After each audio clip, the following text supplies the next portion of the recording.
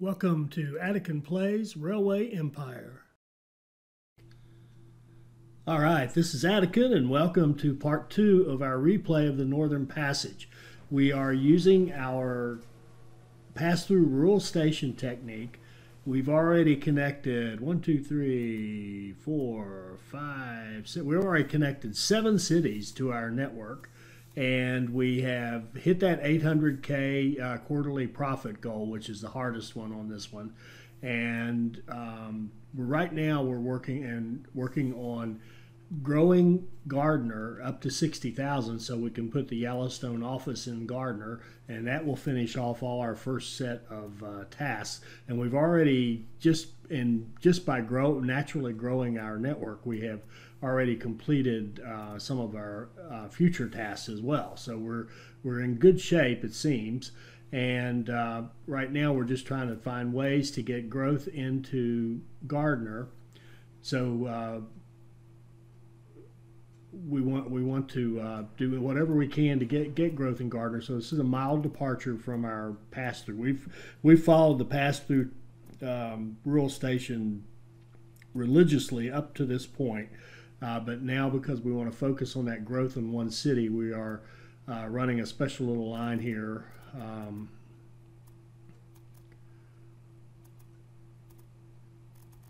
to get to get some uh, uh, additional goods into Gardner. And here we're using our, our kind of our flat uh, crossing approach, and you can see it's a little it's a little clumsy when you want to have double tracks crossing double tracks. It uh, it's a little less than ideal, but, but you can make it work. But it, it, it gives you that ugly little separation there. but uh, that's okay.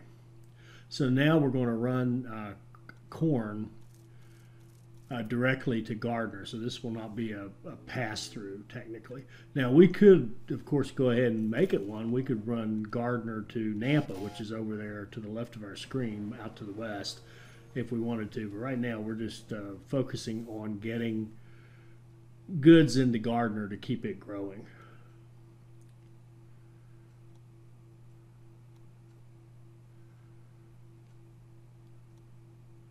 And we're not seeing enough meat coming out of Billings coming over.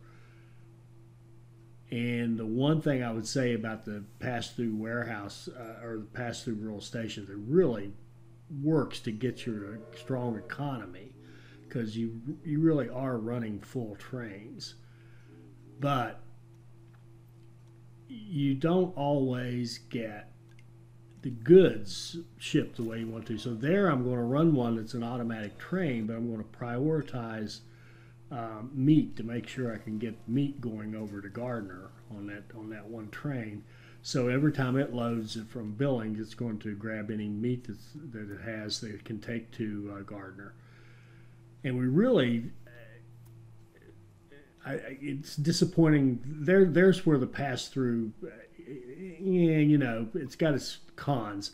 Um, there should be no problem getting meat to Gardner because it's hooked up with Billings on one side, Idaho Falls on the other side. Both of those are meat. So we've got meat beer going from two different directions into the the beer in um, Gardner. And meat should not be a problem, but and yet it is. So that means that our pass through warehouse is getting too loaded down or pass sorry pass through rural station is getting too loaded down with um, passengers and mail, and it's not um, not quite cutting the mustard on getting that um, meat in into Gardner. And so, if we're going to continue to use this method, then we're going to have to figure out a way, perhaps through setting priorities, to make sure that that is not a problem, to make sure that we can then get those uh, goods moving and make sure that we can get the goods from the um, central rural station, whatever that happens to be, whether it's wheat or, or cattle or whatever, we need to make sure um, that we're that we're getting what we need shipped. So that this is going to take some tweaking to really make it efficient. Uh, right now, the thing that's great about it is it's just such a strong way to start your economy because again, uh, you know, the thing I've I've said multiple times, the full trains. When you're running these full trains, your economy gets very strong very fast. That's the great side. The, the downside is that you kind of lose that beautiful control over your city growth that you have with like a pass-through warehouse, for example, which is just lovely. You know what's going to the cities. You know the cities are getting what you need, and we may have to look at thinking about combinations of dedicated lines, but removing uh, between the cities and the pass-through rural stations. I, I, you know, I don't know the answer yet. That's what I'm trying to say. But, um, uh, you know, again, if, if it was, we continue to go through this one, you'll see how beautifully it works. But we're also starting to see some of the places where we need to do a little tweaking and some optimization to really make it work.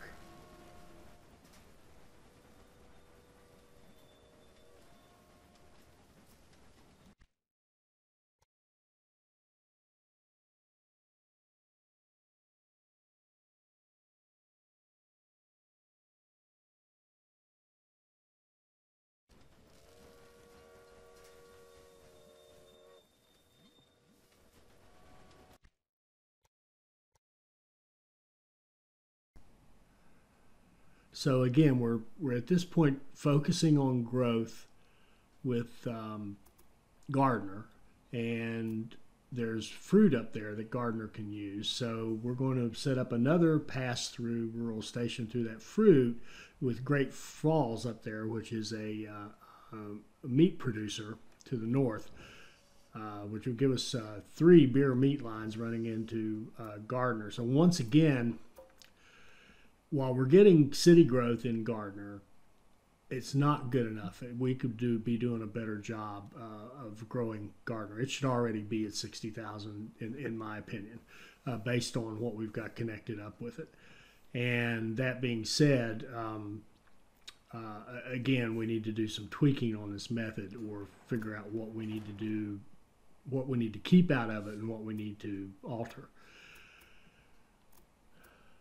but I don't want to sound negative about it because because this is this is going to be the third um, fairly difficult scenario that I've played through with using that method almost religiously, and uh, sorry about the um, uh, spoiler alert, but we're going to get a really high score on this one too. So um, you know, obviously it works. It works beautifully, but uh, again, it could be even better, and and we're going to figure out how do we make it even better.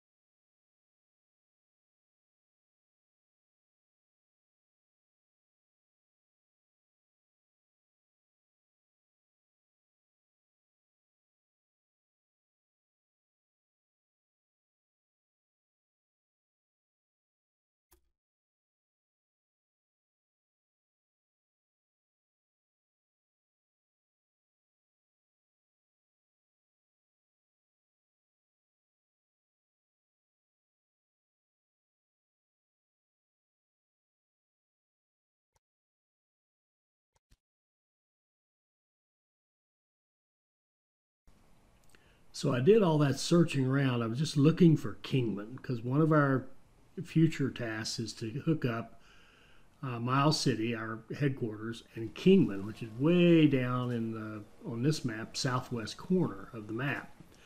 And uh, just looking ahead to see how we're going to get that done. Now Gardner's getting good growth. It's over 70% satisfaction because we're shipping all that stuff in there directly. So it won't be long until we can put in the um, Yellowstone office and have that task done. And that's our next task that needs to get done. So we want to do that one as quickly as we can. So I'm kind of waiting on that growth and thinking ahead to what kind of trouble do we going to want to get into next after we get that office built. So there you can see it's at 59.5. So just a just be just a moment until we can put hit that 60 uh, level city level four rating. It's at 60,000 population and um, and put in our special building. There we go. And there it is down on the bottom of the list, and we will put that out there out of the way in Gardner and get that task completed. So now we've actually got our first five because we've already we've just the 10,000 passengers sounds like a lot of passengers, but but just by setting up all these connections, I mean, look at all the city. We've got like eight cities connected to our network. So just by having that those cities connected, it um, tells us, you know, it gives us uh, all those passengers. The other thing we need to do here is buy Beatrix eventually, and that's um, that could be a bit of a challenge. She's uh, expanding quite a bit down here to the south. You can see she's got lines all over the place. So she's doing a pretty good job and got a pretty pretty profitable company. So we're going to have a uh, you know have to work to, to buy her out. But of course, we're going to grow faster than she is, which means that eventually we can overtake her and purchase her.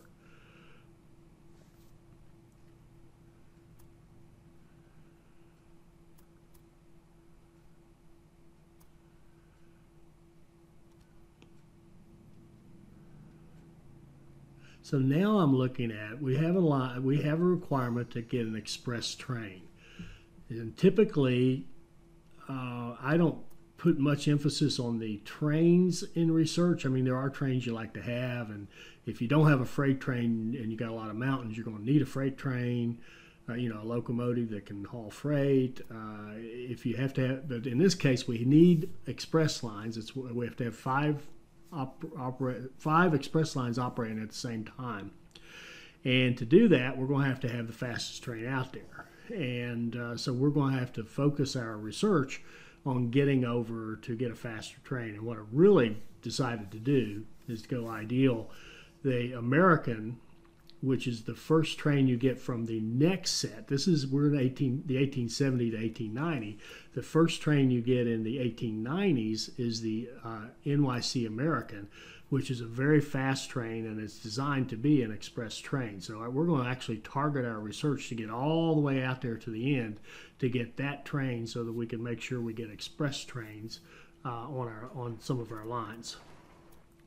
But right now we're just going to hook up another pass through rural station through the wheat and run that over to yet another city in our in our network so we can add another city into what's becoming a pretty large uh, network here.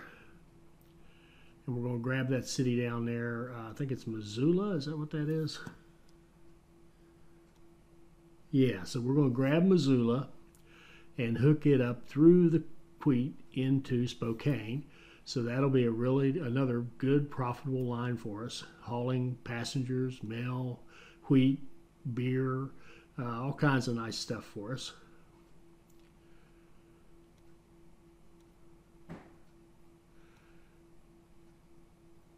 Have to avoid that Indian village. Although I did see, I don't usually pay attention to those like STEAM achievements or whatever, but there is one for relocating an Indian village. One of these times, I'm just going to have to intentionally uh, go right through one and pay the price for relocating them just to uh, just to click that off the list. But I, I, I, really don't pay attention to those achievements. But um, if I did, that's certainly what I'd do. In fact, this I thought actually thought the reason I'm mentioning is I actually thought about it here. I thought about just going right through that village and and uh, and relocating them because we've got a good economy now. We can afford to do it.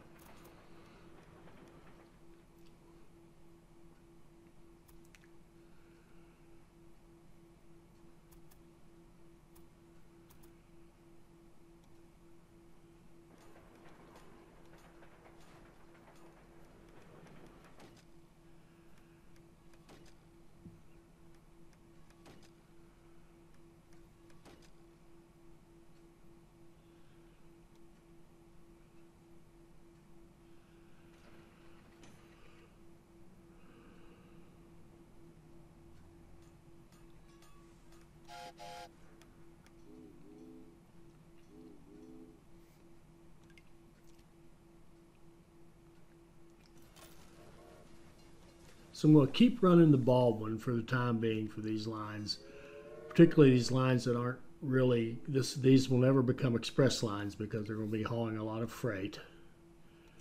Well, uh, they, they, they, they could become an express line, but it's highly unlikely. And we're not really worried about them being express lines. We're just worried about them being profitable lines. And here we have an opportunity to run a couple of trains through the veggies uh, in both directions and and be able to deliver the vegetables and take advantage of that same track with just a little um, little detour, if you will, over here to the veggie station.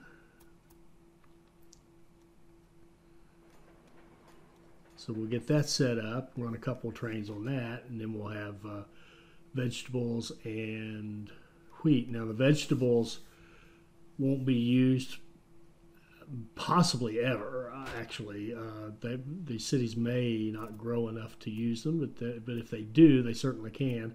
And even at worst worst case, we've you know built a station we didn't need and a little bit of track we didn't need, but uh, we'll just run a couple of trains through there. And the worst cases, they'll just uh, go through and and deliver um, you know passengers' mail and goods like they always would.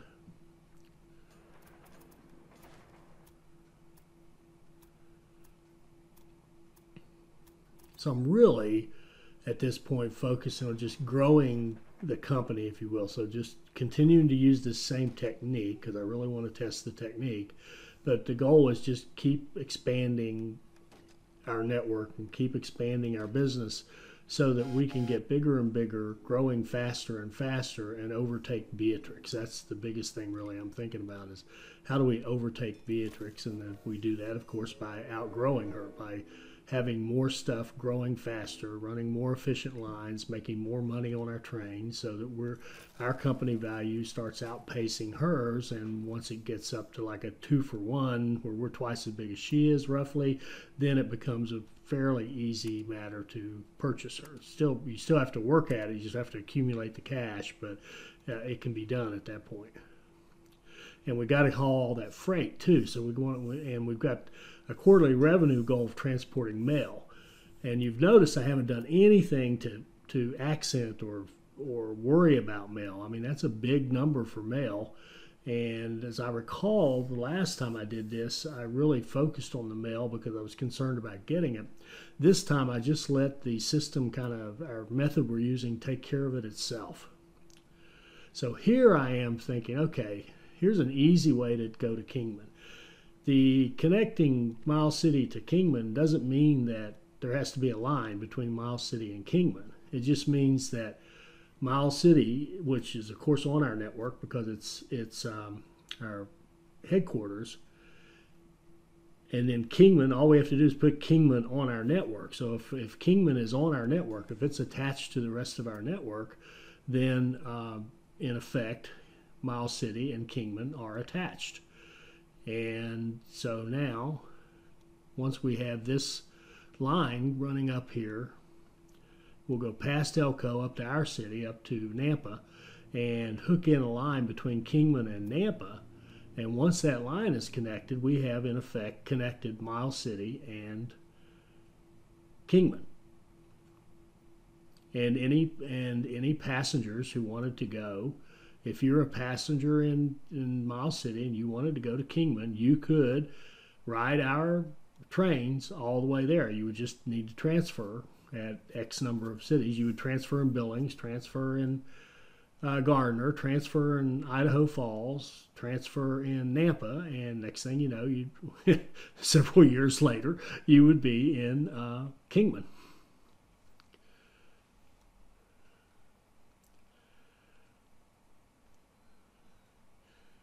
By that time, you may have forgotten why you were going to Kingman in the first place, but still, you would be there.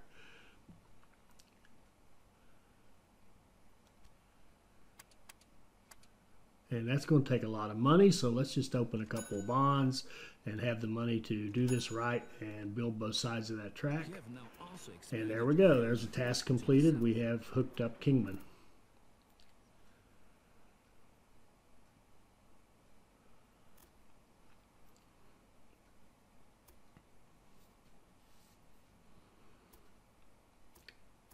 Course we're going to double track it back and you can guess here we're going to look at express lines. So we're going to run passengers and mail here in the hopes of eventually having an express line. We will not get it right away. Reason being, we don't have the fastest train.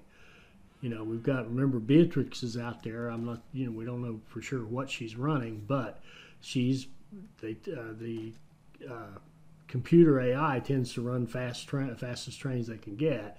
And um, so we're going to need to get our research out there and get that American or some other. Maybe along the way we'll pick up something else that'll be uh, fast enough. But the real thought is let's get the American and um, target our research toward that because it will take us time to buy Beatrix. Uh, to, to accumulate the cash and buy her out will take some time.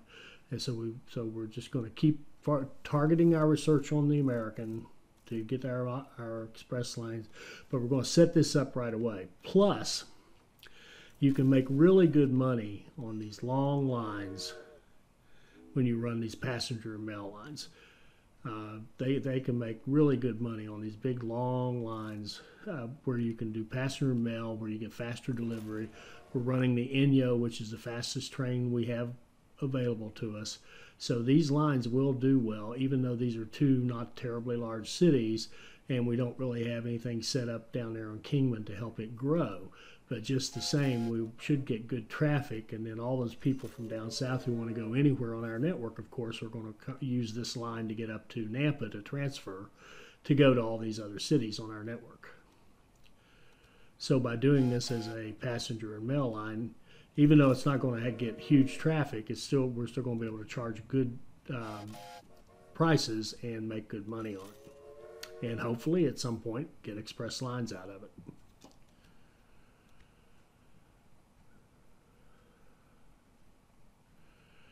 And since it's such a long line, I'm, I'm, I'm thinking about maintenance, and I'm actually now going through that uh, phase of starting to put maintenance on the buildings. It's time. We've got our economy is strong now. We're making good money.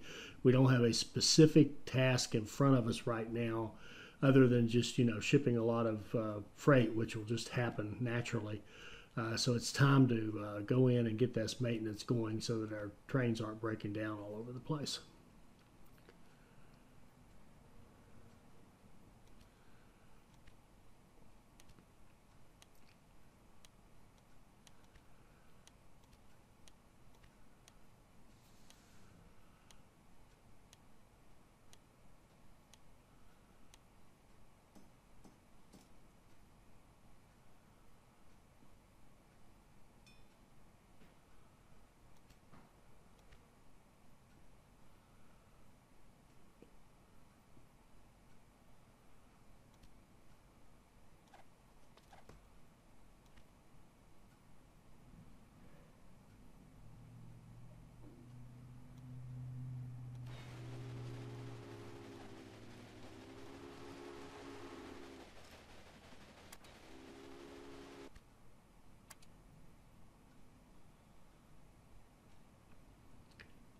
So here's where we can get, a, we got our choice of a couple of station masters. And so that those are great. They give you quicker turnaround in your stations, either reducing the maintenance or increasing your turnaround time. Either way, you get the trains in and out of your station faster. That's any of those office personnel you want when you can get them, for the most part. Occasionally, you'll get one that helps you build better tunnels or something like that, and that is not terribly useful, but all the rest of them can be very helpful.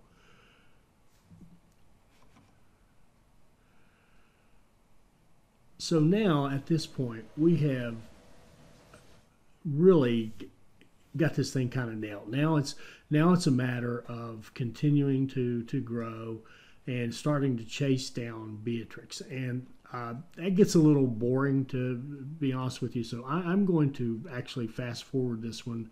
Um, if I think of something else that's really good here, uh, I will stop and show it to you. But but basically at this point, we the 800K is the hard one. That's the one I really wanted to show was how do you get that 800K so quickly. And then, of course, here the difference is we're a, a diversion from what we usually do is we're going to target uh, faster trains so that we can get our express lines because we know we need those as, a, as an optional task. It's really an optional task, but I, of course I want to get all the tasks done. And our quarterly revenue on mail is literally going to come just from continuing to grow buying Beatrix, as I said, is just a matter of time. We have to just outgrow her. And so, really, the rest of this, the rest of this mission is just a huge exercise in building, building, building. And it really is just keeps. I just keep doing the same thing. I'll tell you. I just keep doing pass through uh, rural stations from cities to cities, anywhere I can find them, anywhere I can find um, usable um, uh, raw materials. I go grab it, connect up cities, uh, start invading Beatrice's turf, and you know connecting up her cities as well. But I just keep going after that on and on and on relentlessly until we get it done. So it's really kind of a slugging through exercise at this point. And here I do, I will show you. Here's my the little sleazy trick with the connections. The first sleaze, of course, is to just take that connection. So you just grab it, you take the connection, you get the bonus. There we go. Now here's the really sleazy part. You hit the uh, bulldozer and you destroy what you just connected, getting refunds for the money you just spent. And now you're you've got all kinds of money. And as I said in another video, that bonus connection will actually reappear and you can do that process again. Uh, that's that's that's about as sleazy as I, I would ever want to get right there, but uh, it, it, does work. All right, so let's cut this one off. I'm going to fast forward it all the way out to the end, and we'll see how we did.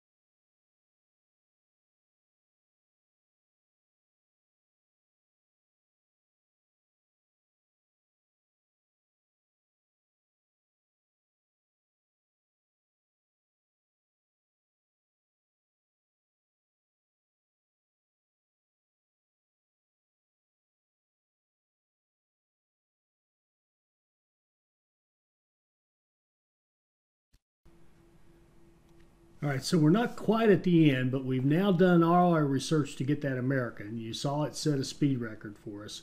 So we should be seeing our express lines popping up here soon.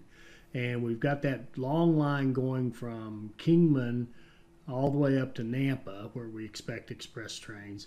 We've also, uh, we're going to set up a line between, um, there's a connect, uh, express bonus connection between Gardner and Salt Lake City. It's two large cities. And so we're going to go ahead and set up a, another line there to run express trains or passenger mail trains uh, between Gardner and Salt Lake City so we can get express trains there as well. So we are very, very close to the end here now. And you'll, if you were kind of watching that fast forward part, I, just kept building and building and building and building. And, the reason I'm not showing you is because it's just the same building over and over again. And I just built uh, anywhere I could find, you know, two cities to connect with a uh, with some good to pass through. I I did it.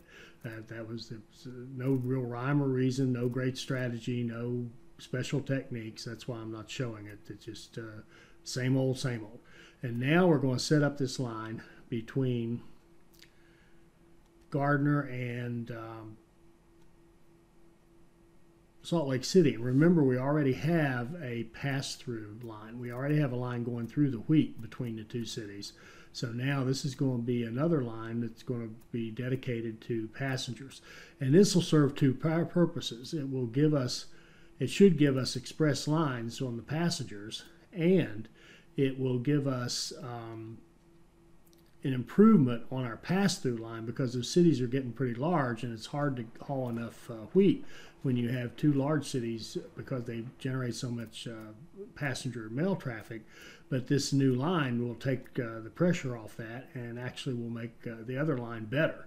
So, and this, by the way, could be part of our solution for how do we really optimize this approach is to, um, you know, start doing a better job of putting in uh, passenger lines because that's something, you know, if you watch a lot of my videos, that's not something I typically emphasize are, are passenger lines, and uh, it's probably to my um, uh, I would say it's to my fault or to, to, my shame that I don't do that because uh, you know it's good money and I should probably should be running more passenger lines, but I tend to be more freight centric because my approach is more uh, rapid expansion and um, and city building, and that that implies to me the way this game mechanic the way this this game's mechanics work that says haul freight between the cities. Now right here we can't quite fit in there with two lanes, so we're actually going to tie it off up here and then have a piece of single track that runs in that little narrow gap between our other station, our pass-through station, and the uh, wheat farm. Um, but that should not be an issue. They'll, they should be able to get through. They'll spread out and run through there very quickly and easily. And again, this is our passenger line that we're setting up.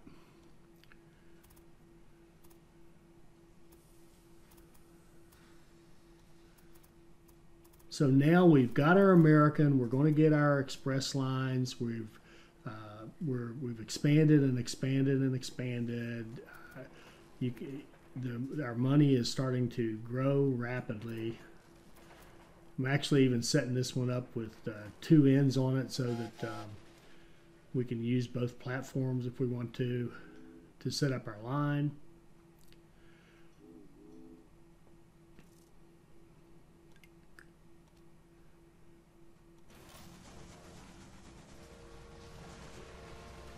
I did that and then didn't even use it, so it didn't even matter to me. And that'll be a really good one because that's got three happy employees on it. That, that'll be a great line right there.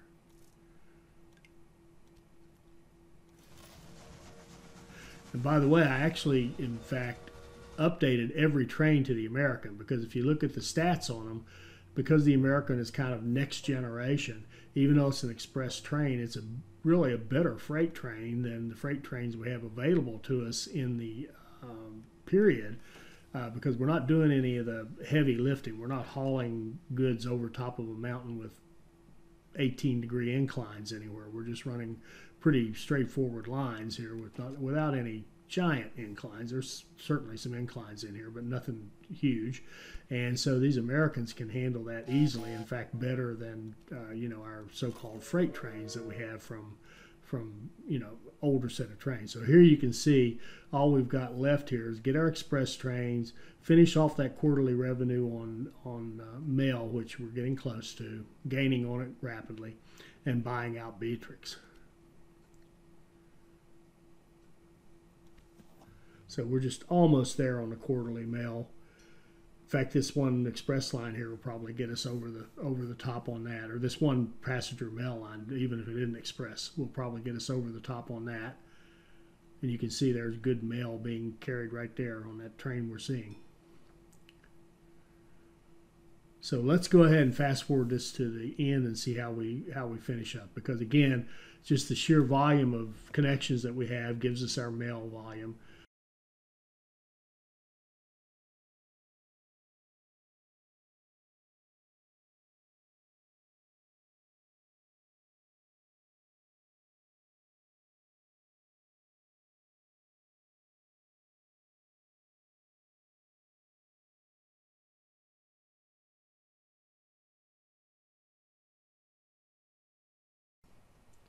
So now we're ready to, to buy out those last few shares of Beatrix's company and uh, finish it off.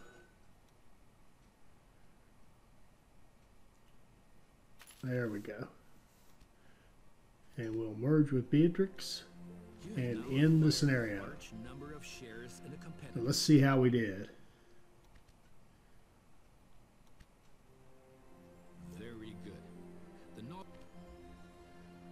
So we got 10 out of 10 task and a 19.6 out of 20.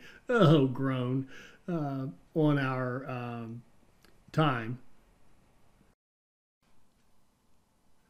But at any rate, we can see that the uh, pass through rural station certainly worked. Hopefully, uh, some of you who are struggling with uh, this scenario can uh, pick up a few things from what we've seen here and apply it to your game and beat this scenario. I hope you enjoyed this. I hope it'll help you become a better player, and I hope you'll join us for our next Railway Empire video. Thank you.